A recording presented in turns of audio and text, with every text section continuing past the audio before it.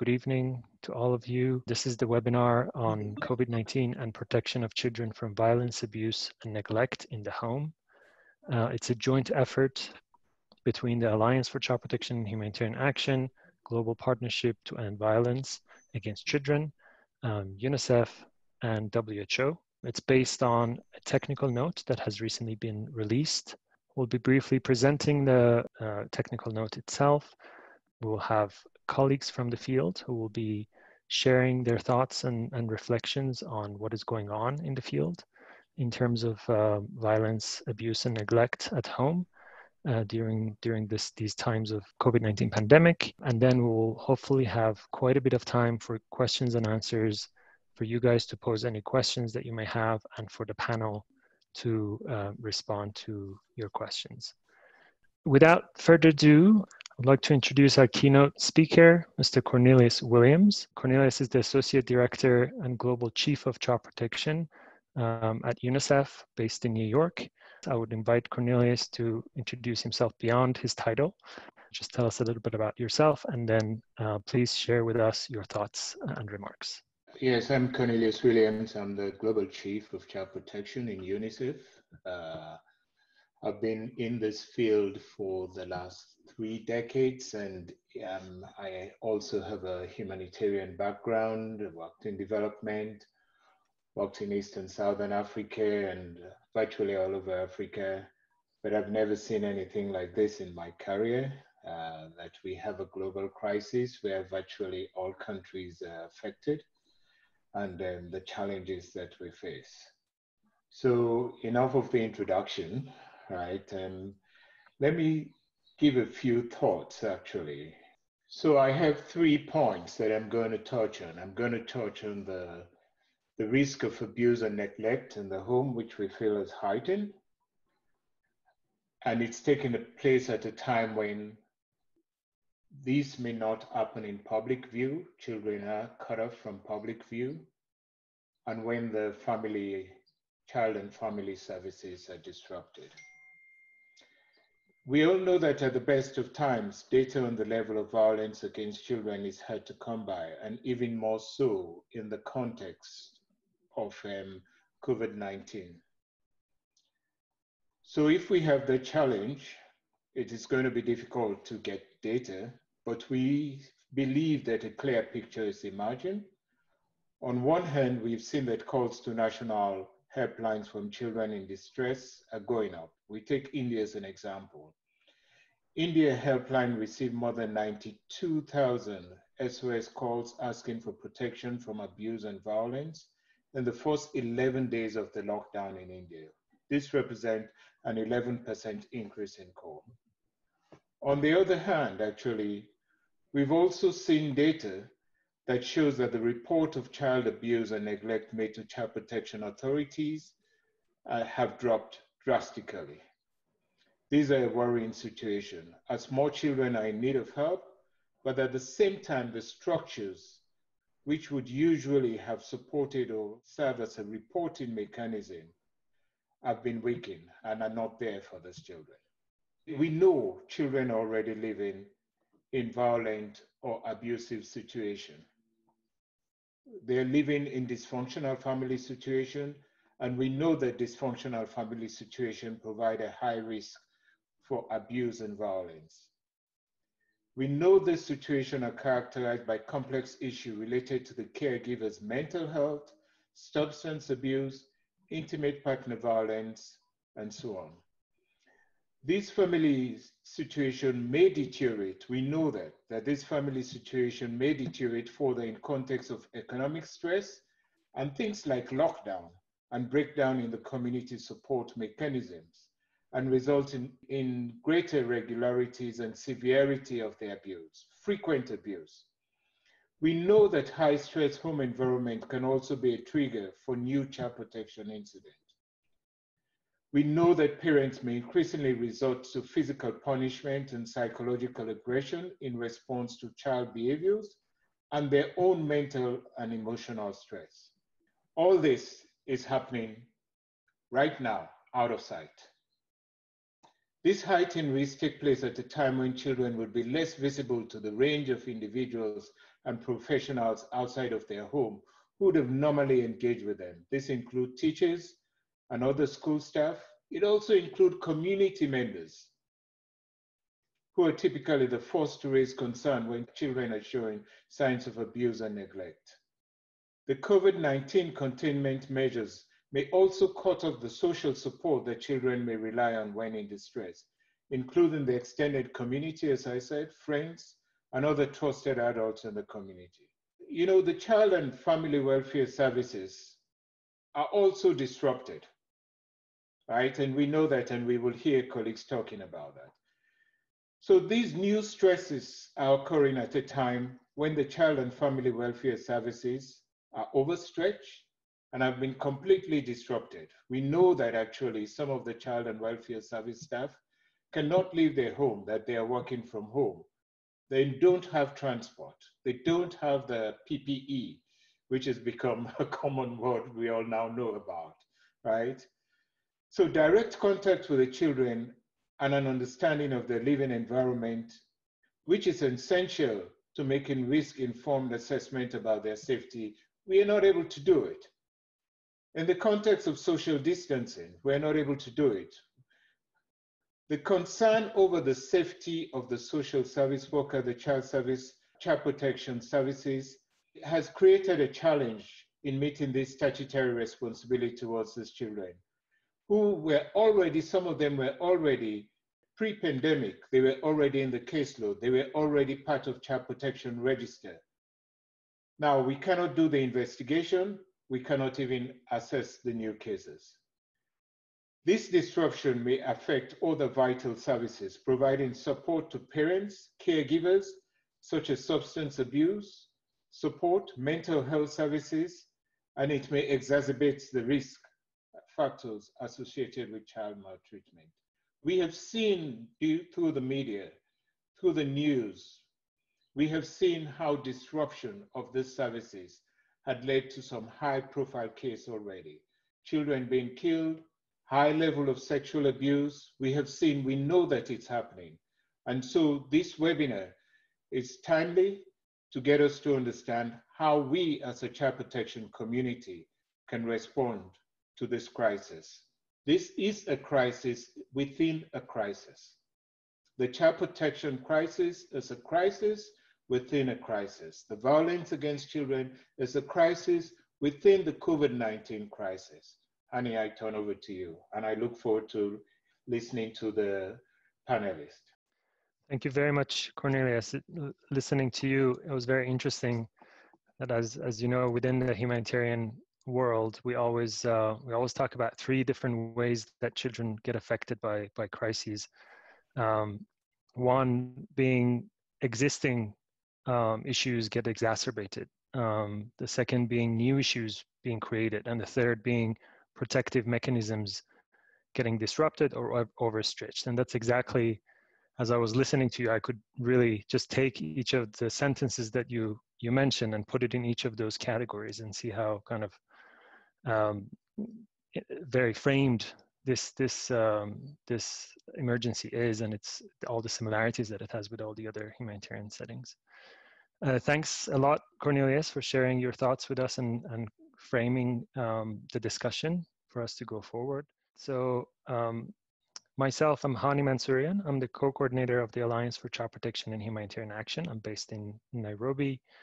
I've been working in the field of uh, protection of children for uh, many years. I, I won't mention the number of years. You can probably see it from my white beard. And I have the pleasure of having worked with um, an outstanding group on this technical note. Also, we will have three um, distinguished speakers. I will just mention their name and then if, if each of you can come on and quickly present yourself. Ala Moghrabieh, Program Officer of Hurras, a Syrian Child Protection Network that works on Syria specifically. Ala, do you mind introducing yourself? Hello, Hani? And hello for everyone. Uh, I am Ala Moghrabieh. Um, I am Child Protection uh, Program Officer in Hurras Network.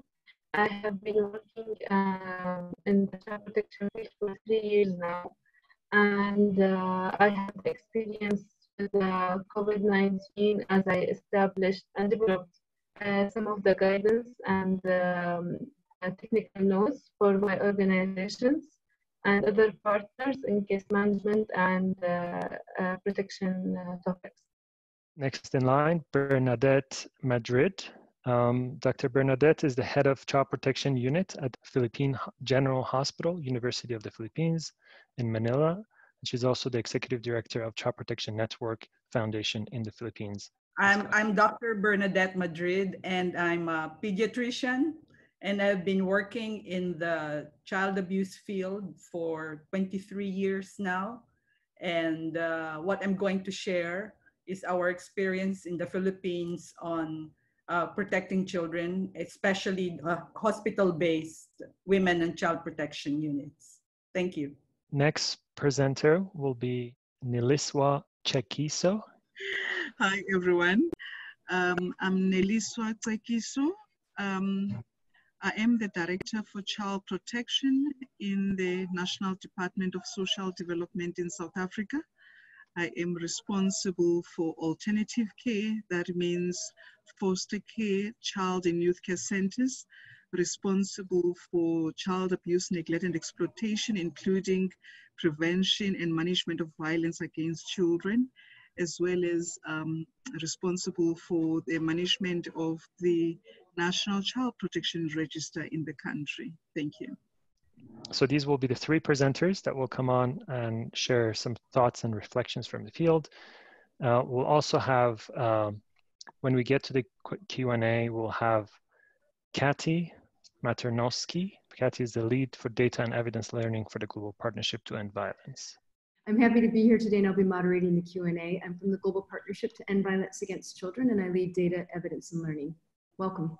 We also have Berit Kieselbach if I'm again saying it correctly, Technical Officer for Prevention of Violence, Department of Social Determinants of Health at United Nations World Health Organization. Thanks, Hani. Um, hi, everybody.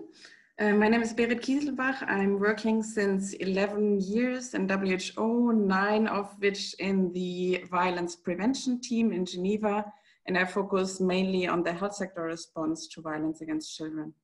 Then we have uh, Stephen Blight, who is the Senior Advisor for Child Protection, uh, focused on violence against children at UNICEF HQ in New York. Stephen? Uh, first of all, you notice that the photo you have of me is uh, outdated. Otherwise, I remain um, Senior Advisor for uh, Child Protection at UNICEF headquarters with a specific uh, thematic focus on uh, violence against children. Thank you. Great. So um, I'll be speaking hopefully for very um, very briefly about the technical note itself. I'll just mention that it was uh, this was a result of uh, a collaborative process between four entities um, that led the process. As I mentioned, the Alliance for Child Protection and Humanitarian Action, uh, Global Partnership to End Violence Against Children, and UNICEF and WHO. But there were a lot more um, organizations and individuals behind the development of this technical note. So I just want to recognize that and send the kudos to all of those who, who joined us in this effort, who recognize the importance of the issue of violence, abuse, and neglect at home, and all the, all the issues that Cornelius brought up uh, in his introductory remarks. So the technical note has uh, basically three uh, broad sections in it. The first one just describing the issues of violence, abuse, neglect, and, um, and neglect of children in the context of COVID-19. A lot of it is close to what Cornelius covered. Uh, it's basically outlining how COVID-19 is impacting risk factors that lead to violence, abuse, and, and neglect. And I, risk factors is a, is a key term here in, in that while we have quite a bit of evidence already that, that shows us, and some of it Cornelius mentioned, that violence and abuse and neglect is going up uh, during COVID-19. A lot of it also is, is hidden to us. So what we know is probably only a fraction. And also what we know is only probably a fraction of what we're going to see going forward. And that's why the issue of risk factors becomes really important in that we know based on evidence that there are specific risk factors for violence and abuse and neglect. And what we are seeing in this crisis is that a lot of those are being very directly impacted. So it's almost inevitable to unfortunately see continuation of the rise in, in issues around violence and abuse at home and outside. This technical note is particularly focused on home environment. Now that home environment for a lot of children is a very defined four walls and a roof kind of home with, with caregivers in it. For other children, it may be slightly broader than that. It might be streets. It might be an institution where, where they live. It might be uh, armed forces and groups that have recruited them. So it's not a unitary definition, um, even though our, our focus in the technical note has been more on home in, a, in its more traditional sense, but we have tried to, uh, to address and or touch upon at least on some of the other broader conceptualizations of home. The second component of the, of the technical note addresses the issue of prevention of and response to violence, abuse, and neglect of children at home during COVID-19. It has three um, subsections. One of them is on prevention. How do we, what are the mechanisms and, and approaches that we can, we can activate to make sure that we are preventing as much as possible the increase in, in violence uh, and abuse. Another issue that the evidence from before COVID-19 is telling us is that violence is preventable, at least for the most part. So it becomes very important, and that's why we put it first, that this issue of prevention. It touches upon issues of uh, social norms and how we can influence social norms to, to help better safeguard children at home. It touches upon provision of ac access to, to positive parenting services and also it talks about uh, the role of schools and education actors in supporting uh, children in distress because of the type of access that they have with them, with children.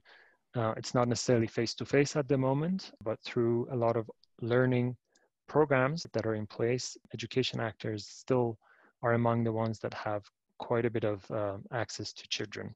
Of course, very different from the traditional access that they have. The second subcomponent of, uh, of the second section is uh, on identification and reporting. As Cornelius mentioned, part of the problem that we are facing is that children are cut off from all of those individuals and networks um, that, that used to be part of the, the chain of identification and reporting of child abuse and violence. Uh, part of that is schools, part of that is communities, part of that is family members, extended family members that are now not able to play that role anymore. Some of the underreporting that we see in violence and abuse is, is because of that lack of access. So identification and reporting becomes extremely important because the traditional mechanisms won't function the way they used to function. So strengthening and, and adapting child helplines is one of the issues that has, has been described. As you know, the role of child helplines in this crisis has become very significant raising awareness of a range of professionals on, and their roles in identifying and reporting signs of abuse, um, basically ensuring that health professionals, education professionals, others that are in essential services that are functioning within essential services are aware of what kind of role they have in identifying and reporting signs of abuse and neglect. And of course, also where to report to. Subcomponent of, of section two is on child and family welfare services which is more specific child protection approach to, to this. Uh, some of the subcomponents in there are support to families in distress. So making sure that those families that are already suffering because of the, um, the containment measures are receiving some level of support to minimize the, the distress um, that can then lead to violence. Designating and supporting child protection as an essential service. Uh, it's something that we have been advocating with all of all of you guys and a lot of partners to make sure that child protection does get classified as, as an essential service within the response to COVID-19. Ensuring the continuity of child and family court services. Again, it's, it's crucial to make sure that children don't linger in, in detention uh, and be able to be processed, uh, those that are in touch, in conflict with the law. Uh, specialized services for children and families. This subsection touches upon some of the more specialized elements of, uh, of services that children need to, uh, to be able to remain safe and protected. The last section um, quickly is contextual considerations. The reason we thought it was very important to have this section is the contextual variability of the issues re related to violence and how depending on where you are in terms of whether you're in a humanitarian context, pre-existing humanitarian context, or in a development context, or in a developed country, your response may be very different. Also, depending on where you are in terms of the outbreak itself and the response to the outbreak, whether you're in containment or, or preparedness, uh, has, is very different than if you're in the mitigation or response um, phase where, where a lot of risk, kind of strict control measures are in place. Um, so we hope that all, all of you who will be using this specifically pay attention to the contextual element of this so that it, you make it relevant to your context. That's it from my side. I will, um, I'll hand over to Neliswa, Director of Child Protection, Department of Social Development in South Africa. I would like to indicate first um, an appreciation um, for the country to be involved in this webinar. I think it's important that as the country we share our strides in ensuring continuity of child protection services in light of COVID-19 pandemic.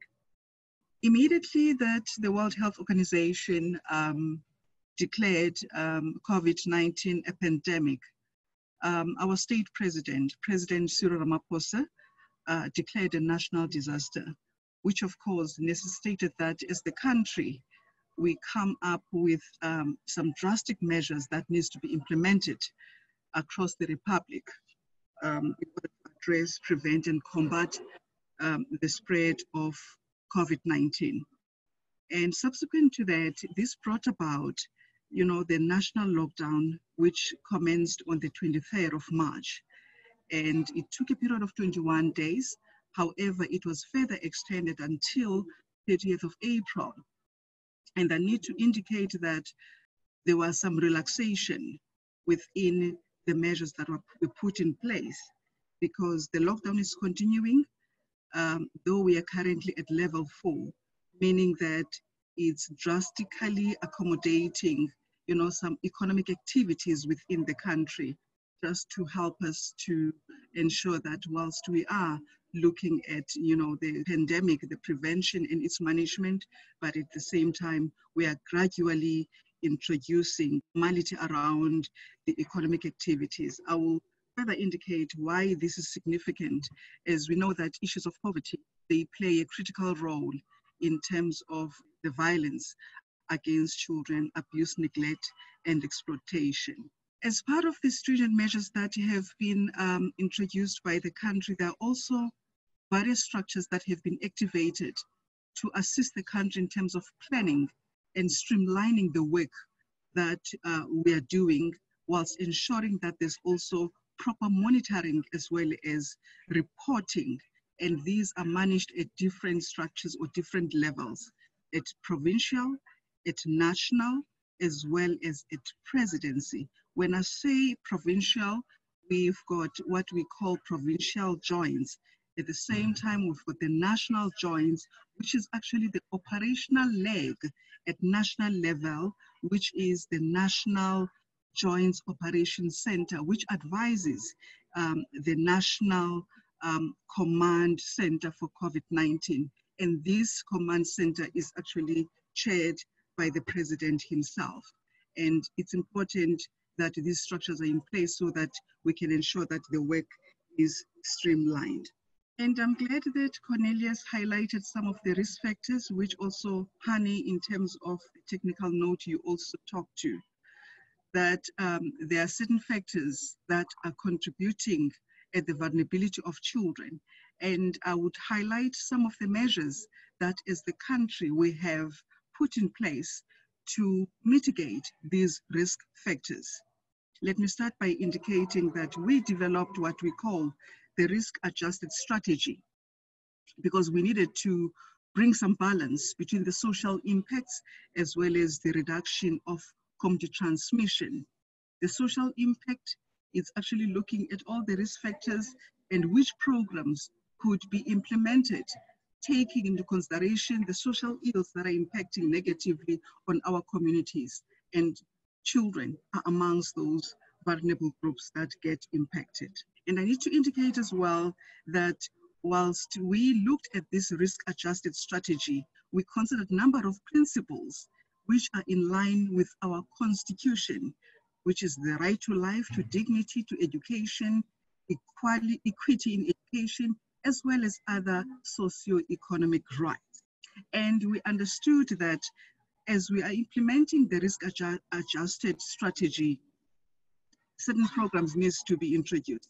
And I will highlight some of these programs. First of all, we know that social protection is key if we want to prevent and manage violence, abuse, neglect, and exploitation against children. As we have already had on the technical note, as well as, you know, the opening remarks by Cornelius, issues of poverty. We have introduced the food distribution program, which actually has been there for a long time in the country. However, it was enhanced. The enhancement that I'm, that I'm talking about is the introduction of the Social Relief of Distress COVID-19 grant, which is a grant that will run for a period of six months. It has started now in May month up until October to assist families because we understand that families are in distress and when they're in distress, there could be a number of, you know, stresses as well as um, possible abuse that could take place in households when parents and caregivers are lacking the capacity to really take care of their loved ones. With the introduction of the lockdown, I need to indicate that facilities, including our community nutrition development centers, the drop-in centers, the partial care facilities, these facilities were closed. However, services that were rendered in these facilities needed to make sure that the communities, especially children, they benefit because most children, they are receiving, you know, the school-based nutrition. And at the same time, with the lockdown now, it means that they won't be able to really receive these services.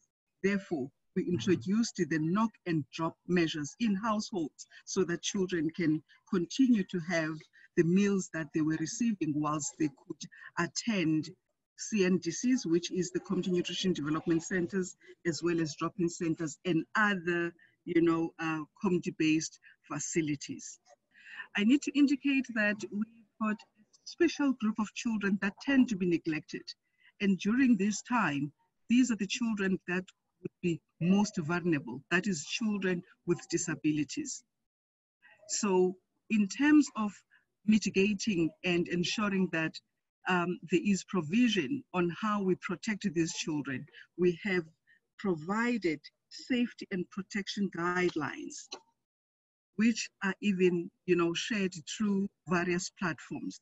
And these were also included in the amended regulations that were published on the 2nd of April, 2020. Child protection is actually declared in the country as a special service which cannot be seen on certain occasions. Thus, we call it a 365 days child protection campaign. And this commenced um, in 2019 with the support of UNICEF, um, UNICEF office in the country. And this program, it's continuing. Though we cannot physically go there and um, have face-to-face -face and have those um, social mobilization campaign physically in communities. We are using other platforms such as media to ensure that, you know, during this COVID-19, children are still receiving the necessary protection, though we know that it's difficult because they are behind closed doors and the measures that they used to have, which would help and assist in terms of identification and reporting, they are limited. However, through you know, media, radio stations, they will be able to get the messages and also contact the different helplines, which we have made um, available during COVID-19 and even on our televisions, on radio station, we continuously flag these hotlines so that people can be to reach out, especially children. And uh, one of those lines is our Child Line South Africa. Another measure that we have also put in place it will also be important for us to note that our courts, because we understand that um, children in need of care and protection, you know, children in alternative care, they need to be prioritized. And in this case, you know, courts have been ensured that they are. I need to also include that in terms of other programs and measures that we have put in place, we have education, which we have tried to make sure that the online is introduced, though we understand that those in the deep rural remote areas, they might not be able to have access to this. Hence, we also considered the issues of radio stations because real, if we talk about the protection of rights of children, we need to understand what are those rights and promote those rights broadly and also ensure that protected and promoted. Water and sanitation, it's also one of the important uh, measure that we have put in place to ensure that water is distributed in various communities, especially in the rural areas to ensure that hygiene and compliance with COVID-19 guidelines in schools, it is implemented. And we also know that um, alcohol contributes a lot. And I believe that what we have put as a measure in the country has assisted the banning of alcohol, including tobacco, because it's got, it's got all those risks that are associated with the use of substance abuse. Uh, in terms of information and sharing through media, broadcasting on television, we have produced child-friendly information brochures because we also believe that it's important that we reach each communities. And through the food parcels that we are distributing, we're aiming that these leaflets and brochures will be put into the food parcels that we are bringing to the communities. And another important, important aspect which we might lose sight of, especially when we speak about the online learning, it's the risk associated with cyber cyber crimes, cyber bullying, and all these activities. And in that case, as the country, we do have a cyber bullying brochure that we have put out there so that we can empower parents, including children, to ensure that um, they are safety within their homes in case that there are, you know, perpetrators and predators that would uh, take advantage of those online activities for children through learning. In conclusion, uh, colleagues, I would like to indicate that as the country, we are really committed to, to protect and promote the rights of children and with partnering with the various stakeholders in the country to ensure that we implement programs that will benefit children across South Africa. I thank you. Thank you very much, Neliswa. It was really interesting to hear such a comprehensive approach to the protection of children in South Africa um, and also uh, some of the examples that you gave in uh, addressing the risk factors um, in, in, terms of poverty, in terms of the regulations that you have in place around uh, alcohol consumption. Um, without further ado, I'll hand over to Dr. Bernie Madrid. So uh, just to put in context, the Philippines has 7,100 islands. So the case of uh, the COVID situation in all of these islands is different. You know, it's not the same in all of the islands.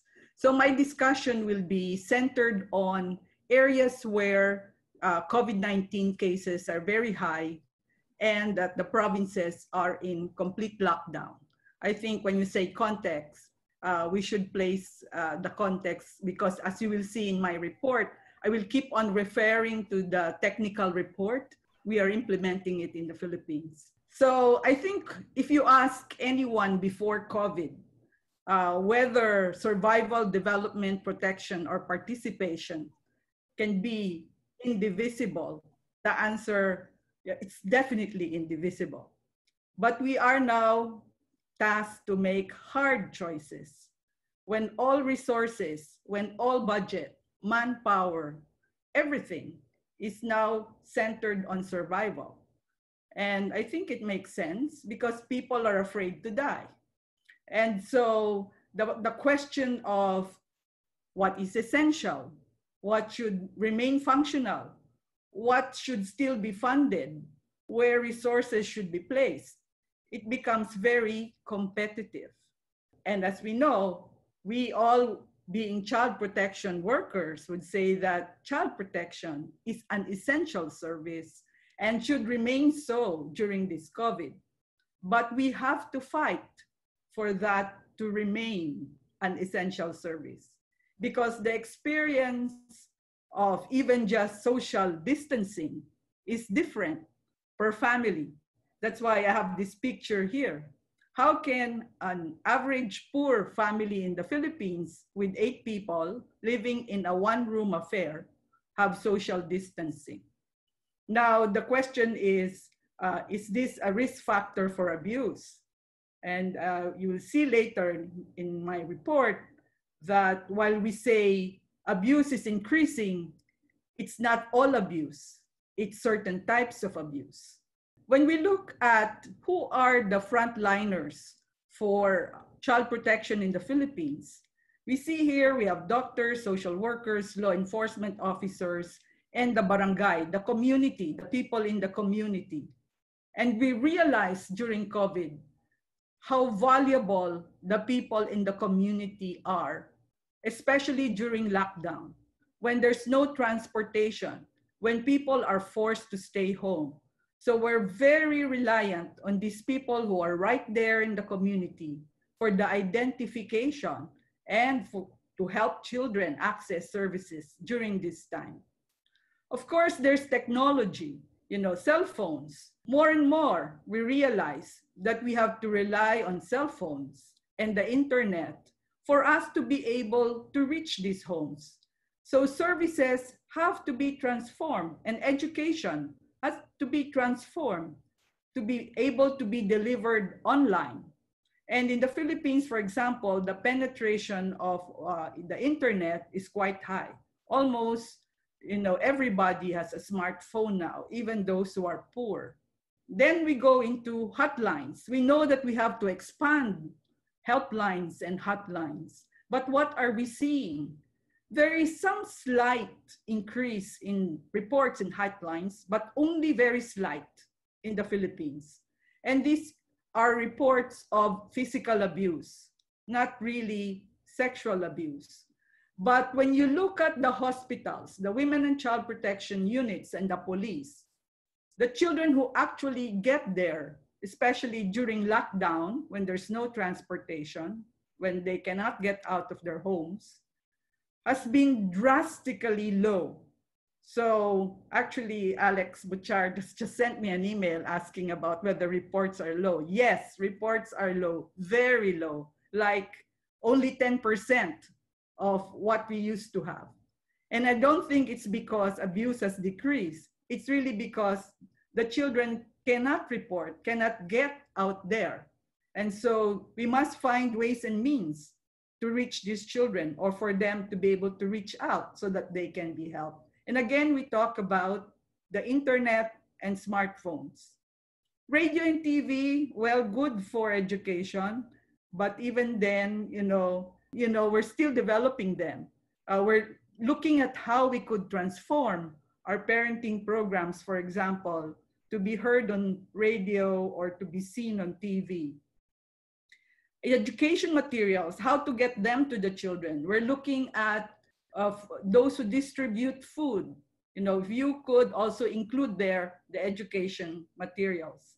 And we talk about protecting the children we should also educate good Samaritans, neighbors, bystanders, because the patients, some of the patients that we see who have been abused in the hospital was able to reach us because of these good Samaritans or neighbors who were able to witness or were able to uh, reach the child. I think no matter what we do, you know, we have to realize that we have to transform the services that we are giving now. This COVID situation will last at the minimum two years, if not three years. And when we talk about safety, it's not only safety for the children, but also safety for the workers.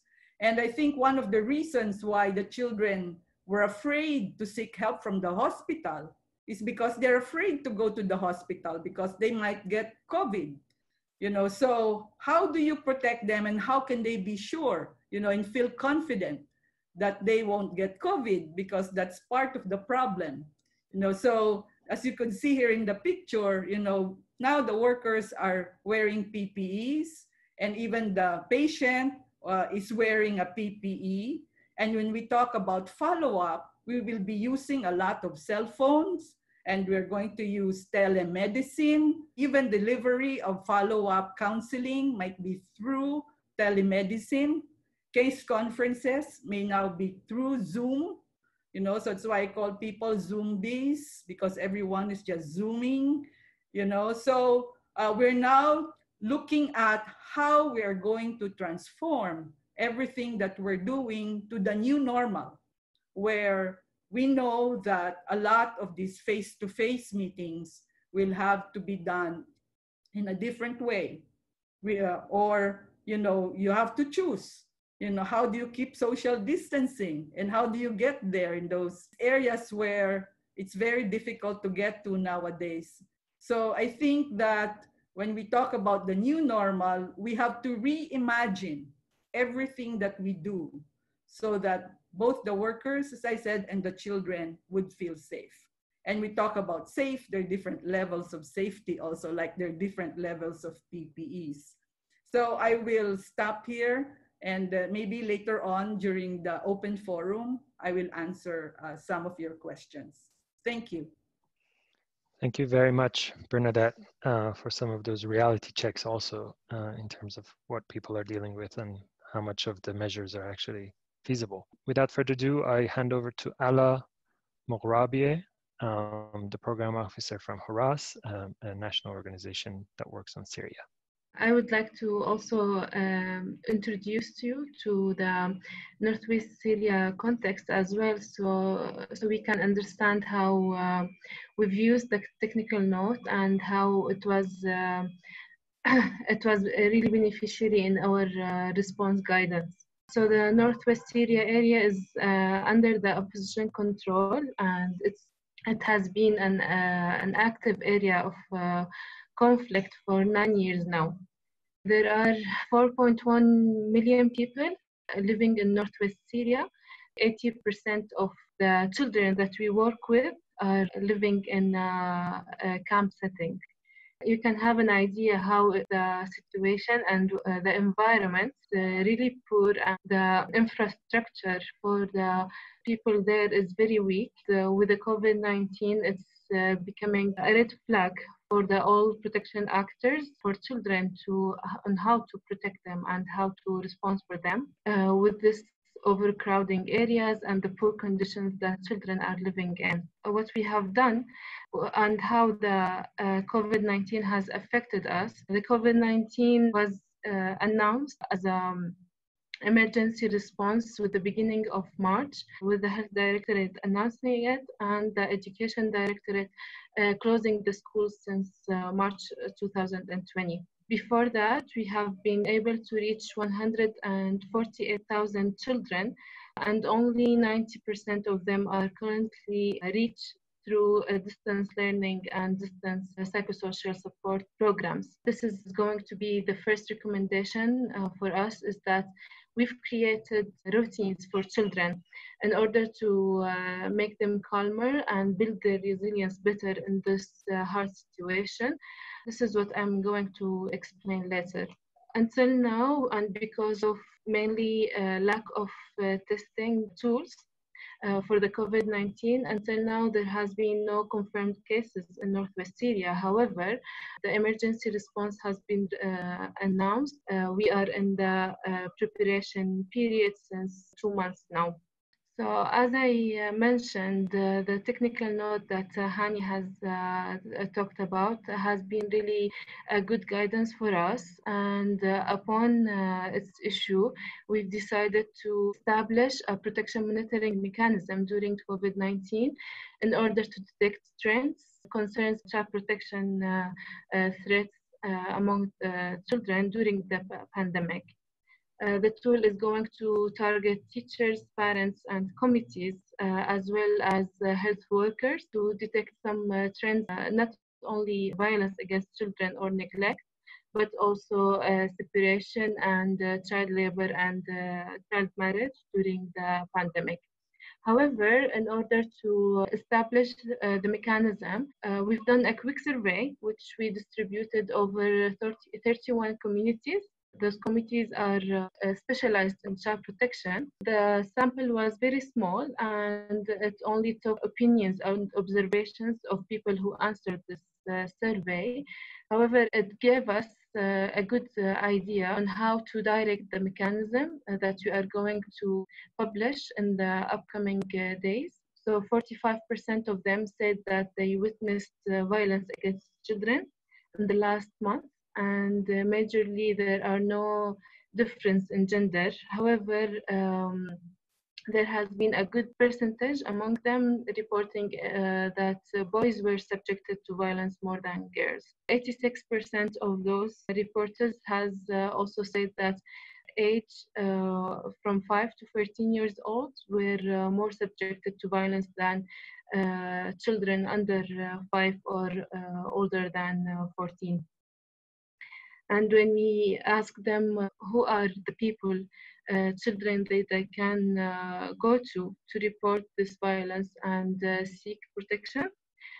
the CP actors, teachers, and PSS workers came in third place after um, extended family and family members to protect them if the violence uh, or neglect has uh, happened uh, to them. So this is not only has helped us in the studies that study that we are going to conduct, but also has shed some lines on the response that should, that we are going to do and we've done. Like we have uh, to focus on what age group and uh, uh, the means of um, communications with the children how to be uh, more focused uh, on the uh, teachers and pss workers as they are a safe line for those children so our response uh, came in different stages depending on the vulnerability of, the, of those children and how we are going to reach them. Uh, so as I said, the first thing that we recommend is to build routines for the children as routines make uh, children calmer and more resilient. So our PSS and education activities are linked to a routine and specific key points of the day. So every day, for example, at 8 a.m., we share uh, the math lesson and on um, at uh, 6 p.m. Uh, for example, we share the physical exercises. we have ensured that those lessons and uh, uh, the homeworks are really easy and uh, simple so the parents when they are helping their children are not frustrated and not to create more pressure on them this was uh, really uh, beneficial. 90% of the children that we uh, we were reaching before the COVID-19 are are benefiting from the service. it's started to show some good results in terms of uh, their resilience and our as an entry point uh, to those children uh, to help them report anything as they have a continuous support uh, from their teachers and the PSS workers and also social workers and CP actors uh, entering those portals. So for the next uh, uh response line was uh, homeschooling and PSS kits. And this was mainly targeted to children who uh, don't have an access to smartphones or laptops and cannot enter the portals online on a regular basis. So they were supported with, uh, with the kits and uh, they were complemented with uh, parenting skills brochures and leaflets. This was very good for us as an entry point for those children because we've lost the, the connection with them in the portal. So this has helped us to at least uh, check on them uh, when we are handing, handing them the kits and to see uh, their environments and um, uh, do an assessment on them when, while they are uh, having the kits on a monthly basis at least when they are uh, when we are updating those kits and providing them with the new supplies like we've did the uh, disability inclusion uh, in both those programs. So uh, the children with disabilities were, were included in those program with the special education programs and special PSS manuals directed not only for the children but also for their parents and able to be uh, able to deal with them in this period as uh, they are in a long hour of contact and just to help them with uh, some tips on how to deal with your children and how to make them and how to build uh, their routines in order to support the family during uh, these times. And not only um, the materials were simple, but we uh, ensured that to, uh, to make it a family in, uh, inclusive to all family members and fun and interactive.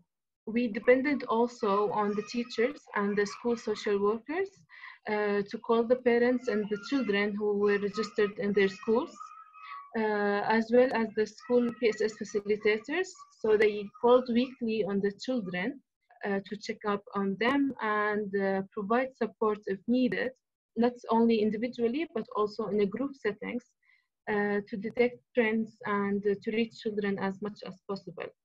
So this also targeted the children uh, who don't have an access to smartphones to be reached through uh, their parents' phones or um, uh, the neighbors' phones, just to check up on them and make sure that they are safe and uh, not needing for any uh, more support.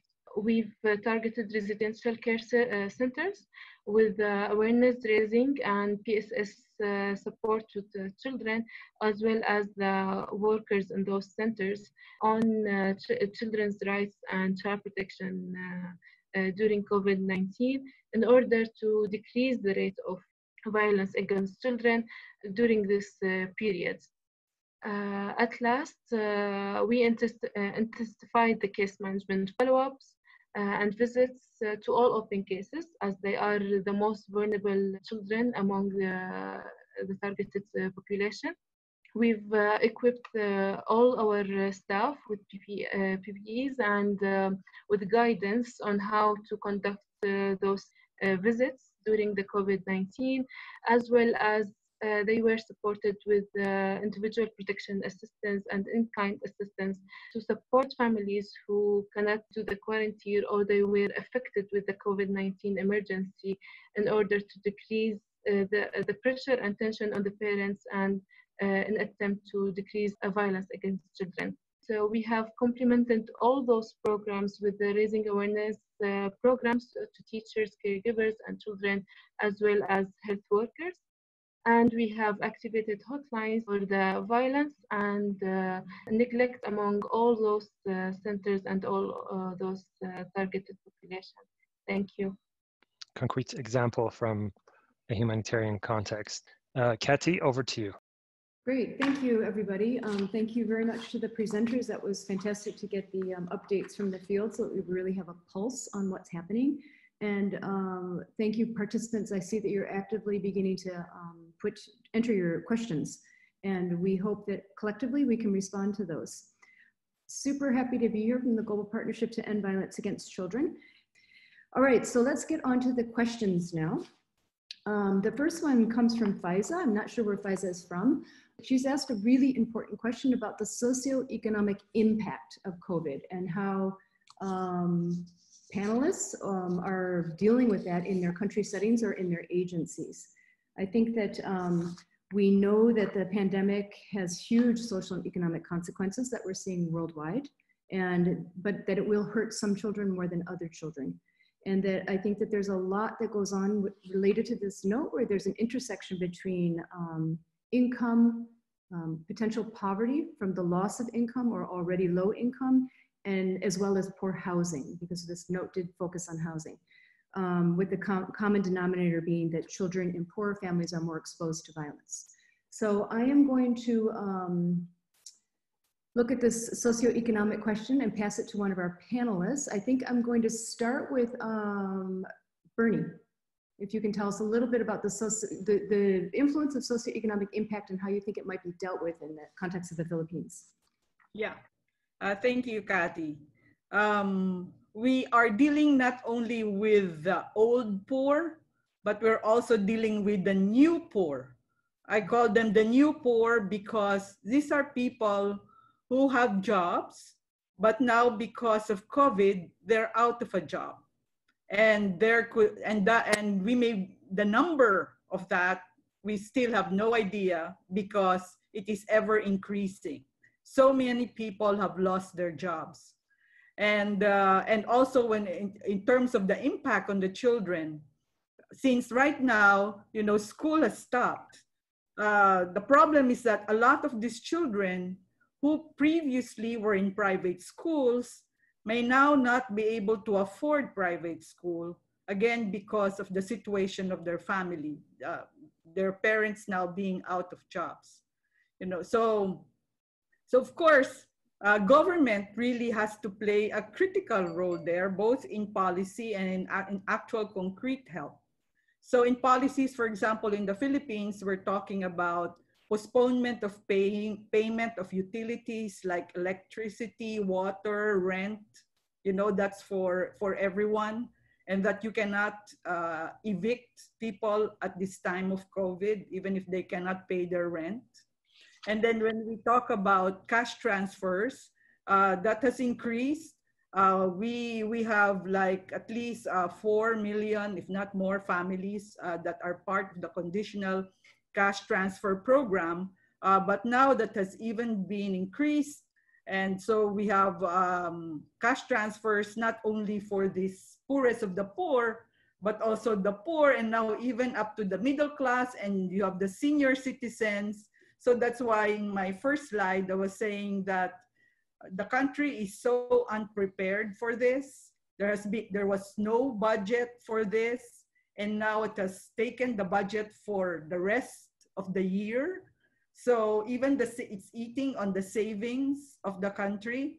That's why uh, private, you know, the help of the private sector is really needed. And the private sector, I'm happy to say in the Philippines, have stepped up in terms of uh, helping the, their employees as well as with uh, all the other needs in terms of food, which is really basic, you know, and um, PPEs, again, helping the frontliners.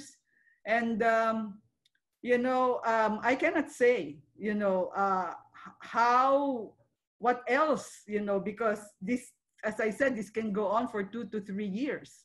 So uh, we, we have to be ready. The, uh, the economies have to be ready. It's sometimes it's a balance between uh, early opening up of the lockdown, you know, because of the economy versus the lives of people, because you know you are putting them at risk and that there may be another surge of COVID.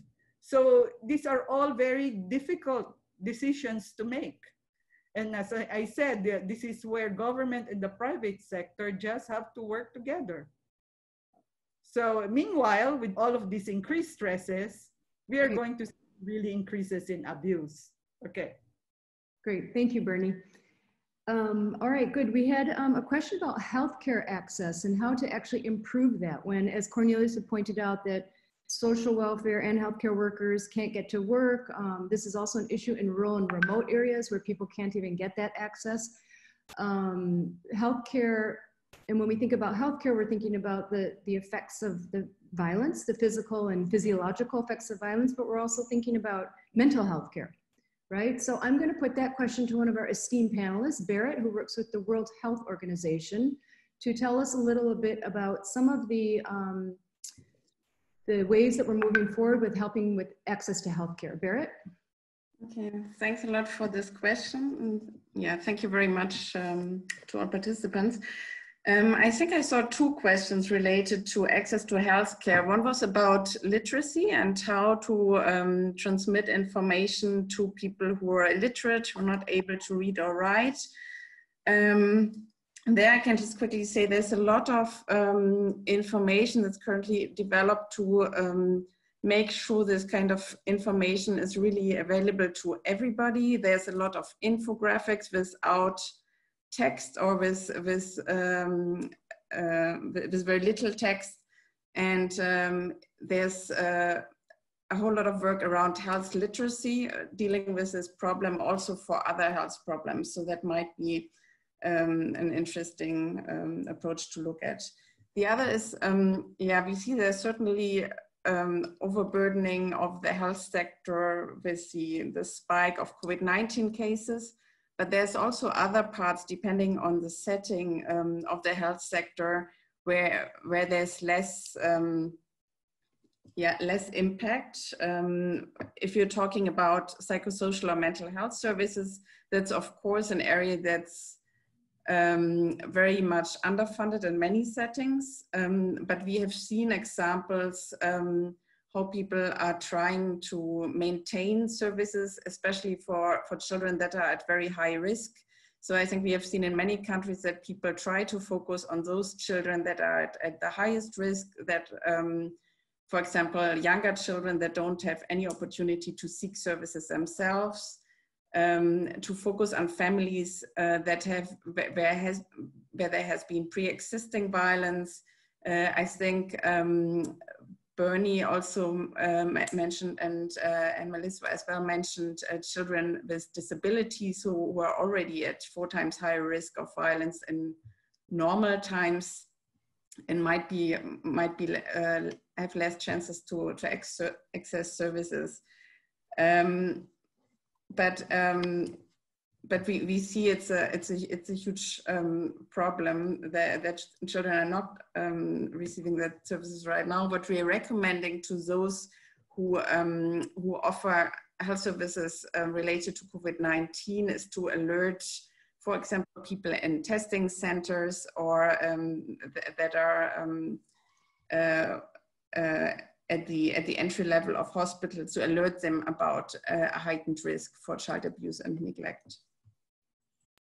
Thank you, Berit. Um, very helpful. Lots of great suggestions there. Um, the next question is for Alla, and it comes um, from a person named Tabitha and it's um, inquiring about the quick survey tools that you used with your child protection committees. I think all of us are quite interested in this, how to really get a quick read on the, um, the actions and issues on the ground with, with child protection committees, which of course are so vital to the work of the system. We'd like to hear about the tool, the survey that you use with the child protection committees, and also if that tool is available to share with our audience. Yeah, as I said, uh, the survey that was done, it was uh, really on a, a small uh, sample uh, of uh, people and it was really quick just to uh, put in mind the tool that we are going to, the mechanism that we are going to distribute in the upcoming days. So it's not really a reliable uh, source of information, but whenever we are finished with the study and uh, uh, we finish the mechanism that we are going to distribute in the upcoming days, uh, we, are, we are going to be really happy to share um, the findings of the study that uh, we'll have. Great, thank you, Alla. Um, we have a question here from Florence with the Norwegian Church Aid in Oslo.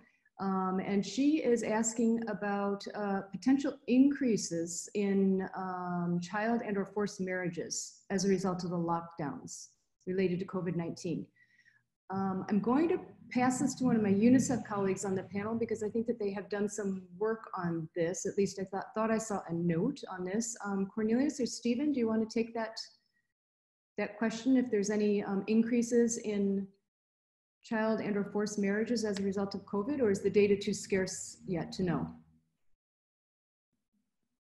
Um, it, it's Stephen here, and let me try and give um, uh, a quick response. And well, the quick answer is um, is we don't know, and um, given data challenges linked to you know lockdowns and uh, the relative invisibility of children to public services during the pandemic, we don't know, and we and we don't have uh, we don't have that uh, data. But what we um, do know is those kinds of um, services um, that support adolescent girls, those kinds of uh, services that prevent child marriage, are uh, are interrupted. Okay, and, um, and, and so this is our concern is how can we ensure that those basic services are um, resumed or maintained in the, in the context of the lockdown? Thanks. Super. Thank you, Stephen. Um, we have a question here that I think is a really critical one, and that is, are we listening to the experiences of children during COVID? Now, this of course comes with many um, um, barriers, right? Even more than before, because we've got ethical issues we need to think about. Um, it's not as easy to get to children through the um, various children's rights groups that we normally function through um, and work with children. So um, do any of the panelists um, want to Neliswa, maybe you've been working on that in South Africa. I don't know. Again, Bernie, maybe you have some experiences of, are we actually listening to children on the ground and can we get their experiences and can that inform our practice? Um, you know, that's why when I, my first slide, I had the four, survival, development, protection, and participation. I mm-hmm. think among the four, participation is probably the, the least, you know, the one that uh, we paid the least attention to. Um, but I was thinking, you know, that uh, it will be nice to also have a webinar. Actually, I was suggesting that to one of our groups, you know, that to have a webinar wherein it will be the youth now speaking uh, instead of us, the elderly. So, um, uh, so because we really do need to to hear their voice.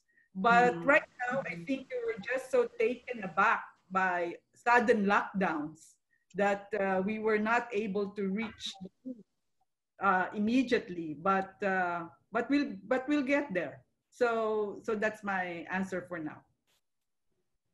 Mm.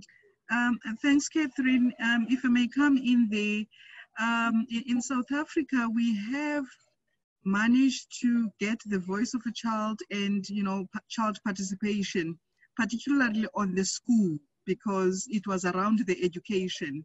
And I support Benny's view in relation to actually having a webinar with children to really get to hear their voices in terms of their experiences and what they would like to see us doing as countries in relation to prevention of violence, child abuse, neglect, and exploitation.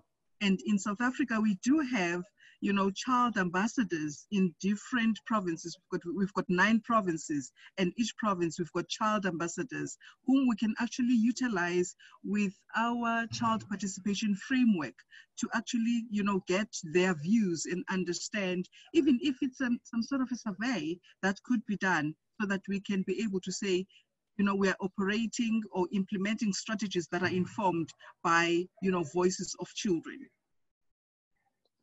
Great, thank you so much, both of you. That's very helpful. Um, and I'm sure that there, I think, I, I think the idea of a um, webinar um, is, a, is a fantastic one. Just start to, li to listen to kids and make sure that they're, you know, we're, we're practicing good ethics when we are listening to them and making sure that they have backup services um, because that's so important with the, the children's experiences. Um, the um, Global Partnership will be doing a podcast with children hopefully in the future, so we'll keep everyone posted on that. Um, we have some, we have two questions from Mathilde and from um, M. Urima from Nigeria about residential care um, facilities. And I think when we think about residential care, it's not technically the home, but it is a home for many children, right? And, and conditions in residential care um, situations can be bad anyhow, the, the, but then also they are probably, as Bernie put, um, transforming under the COVID um, situation. Um, there's often crowding, um, difficult conditions, and children are left without the services that they may need. Um, maybe one of our panelists, I, you can put your hand up panelists if you'd like to take this, um, would like to um, address this issue about residential care. I know that Alla, you, we, maybe we could start with you, Alla, because you did have residential care on your pyramid of needs um, that, you, that you showed us. maybe you could tell us what's happening in Syria, and then we could move on from that. Thank you for the residential care and interim care centers, well, uh, uh, before the COVID-19, they were actually um, very hard to uh, work with because they work independently. And since we don't have any authorities in our uh, opposition uh, held area, it's really challenging to work with them. However, we are doing our best to uh, include them in our response and to give them the guidance uh, on how to do their preparation and how to do their response during the COVID-19. Uh, uh, Hurras Network, along with other uh, partners, are visiting those uh, residential care uh, centers and trying to guide them on how to receive new cases uh, if needed and how uh, what measures they should take uh, in case um, a COVID-19 case was detected within their facilities. Uh, however, as I said, uh, there is a huge challenge in uh, working with those facilities as they are really close and they don't allow a lot of actors to visit them. but we are doing our best. Thank you, Alla. Um, so in closing, I'd like to go through each panelist and just have you give a very brief, right? What you think perhaps is the most important thing to do now in terms of either policy or practice to pr protect children um, and, and putting it in the context of the technical note, and that would be protecting children in the home, right? Um, during this COVID, um, COVID context. I think in policy, no doubt that we really have to make child protection an essential service. I mean, that's a no-brainer. In terms of the work, I think we really have to transform the way we work in that we really need to develop an online platform. There's no choice, the way I feel it. We need telehealth and uh, we need to arm our children with uh, an option to access care. And one of that is that they should have at least a cell phone. I mean, the most practical thing is that they should have a cell phone. I think we should be prepared that we are going to change the way we work in the next three years and that we should do it now. So thank you. For me, it's more on practice in terms of, because I mean, our policies in the country are quite good, if I am I to say so uh, intensifying our social mobilization through electronic, you know, communication, where we must empower parents and caregivers to take better care of, it, of, of their children, because I believe that's how we can ensure that um, we prevent violence against children, child abuse, neglect, and exploitation, especially in the homes during this period of lockdown and COVID-19. Thank you, Katie. As you said, it's it's hard to, but I'll just focus on this one on violence. I think I like what Danny said. Actually, the issue of that we have to learn now how to work um, in a more all the lessons learned about remote working. We should build on that for the next. You know, what is digital social work mean, especially in under resource settings. All right, and, and I just want to bring up very quickly, you know, still a good portion of the world does not have digital access, so that will be a challenge in and of itself. Um, Berit, what would be your closing remarks?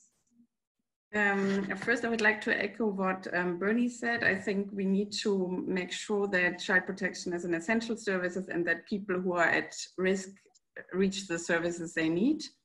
And the second is I think we need a better understanding what's actually happening. We have seen in some countries reports are increasing, in some countries they are decreasing. We have some idea which types of violence increase. We have some idea which might decrease, but to really provide services to those most needed, um, most needed, we, we need to have a, a bit better information um, of the situation that's actually happening at home. Great, thank you. Super important to keep the surveillance going. Um, Stephen, um, as the lead of violence against children and, and, and really one of the senior leaders of child protection in UNICEF, what would be your number one recommendation?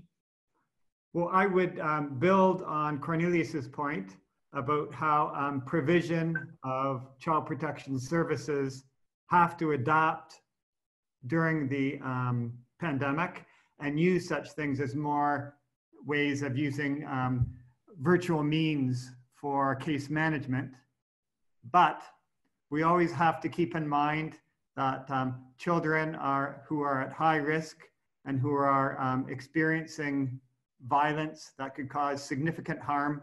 There is a state obligation, there's an obligation on us to conduct those family um, visits, those assessments of the situation of the child that require um, face-to-face -face contact. So these need to be um, prioritized, prioritized and maintained. Thank you. Thank you, Stephen. Alla, are you still with us?